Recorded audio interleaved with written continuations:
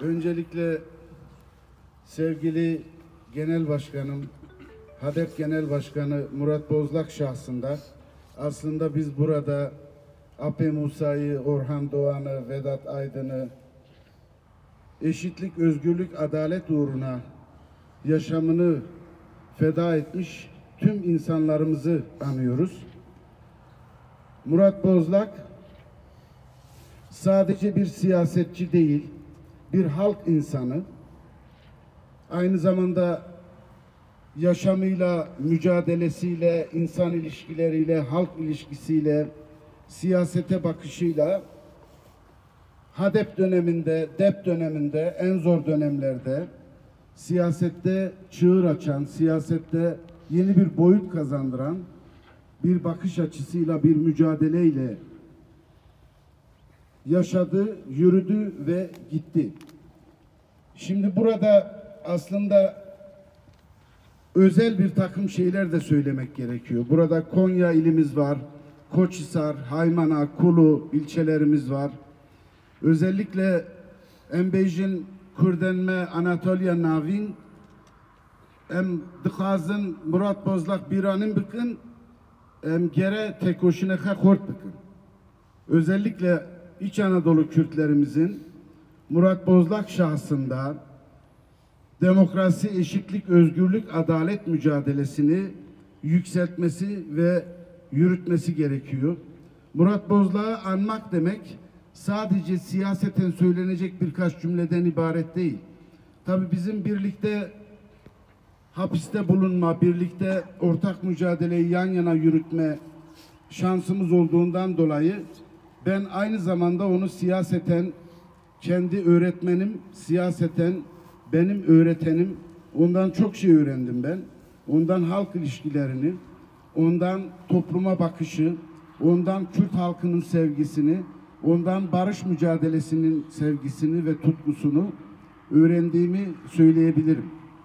Yaşamı boyunca, mücadelesi boyunca tevazuyla, öğretici duruşuyla, paylaşımcı yaklaşımıyla insanlığı da öğreten aynı zamanda siyasi duruşu da gösteren ender bir kişilikti.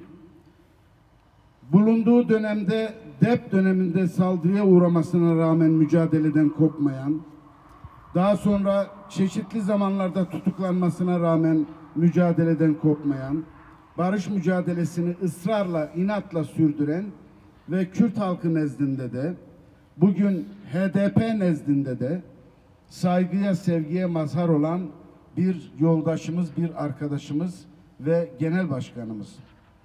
Onu anarken aslında şunu söylemek lazım. Sen Kürt halkının eşitliği, özgürlüğü, Kürt halkının dili, kültürü ve varlığıyla yaşamasının mücadelesini verdin. Sen Türkiye'de toplumsal barışı, sen Türkiye'de halkların kardeşliğini, sen Türkiye'de kadının özgürlüğünü, gençliğin özgürlüğünü, sen emekçilerin haklarına sahip olmasının mücadelesini verdin. Bu mücadeleyi biz yürüteceğiz. Senin özlemlerini gerçekleştirmek burada huzurunda sözümüz olsun sana. Bu özlemleri gerçekleştirmek bizim sana ve bizden önce mücadeleyi yürütüp giden hakikat ve adalet uğruna can baş veren yoldaşlarımıza, öncülerimize sözümüz olsun. Burada söylenecek en anlamlı şey bu olsa gerekir. Biz tabi pandemi koşulları nedeniyle biraz önce Konya İl Eş Başkanı arkadaşımız da söyledi. Pandemi koşulları nedeniyle katılımı biraz sınırlı tuttuk ama bugün burada olmamız eş genel başkan yardımcılarımız, parti meclis üyelerimiz, Ankara İl Eş Başkanımız, yöneticilerimizin burada olması çok anlamlı. Tabii ben Şeycan abla şahsında da Şeycan ablanın da çok emekleri, çok katkıları oldu. Hem Murat Bey'e, hem bizlere, hem mücadeleye. Onun da huzurunda sevgiyle, saygıyla eğiliyorum. Çok yaşanmışlıklarımız var, çok anılarımız var. İmkan olsa da tabii şey yapsak. Murat Bey'i anmak demek, hüzünle anmak demek değildir. Murat Bey'i anmak demek mücadelenin coşkusuyla, Kürt halkının tililisiyle, kadının iradesiyle, gençliğin coşkusuyla, Şırnak'ın, Mardin'in, Batman'ın, Hakkari'nin özlemleriyle, Diyarbakır'ın tutkusuyla, Vedat Aydın aşkıyla anmak demektir.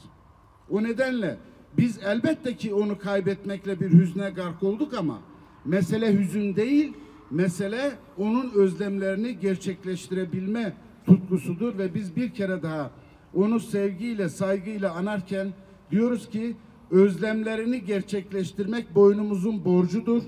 Bu sana ve senin gibi mücadele edip giden Vedat Aydınlara, Abbe Musa'lara, Orhan Doğanlara sözümüz olsun. Sevgiyle, saygıyla anıyorum. Kemal abi davet ediyorum. Kemal Pöküz vekilimizi.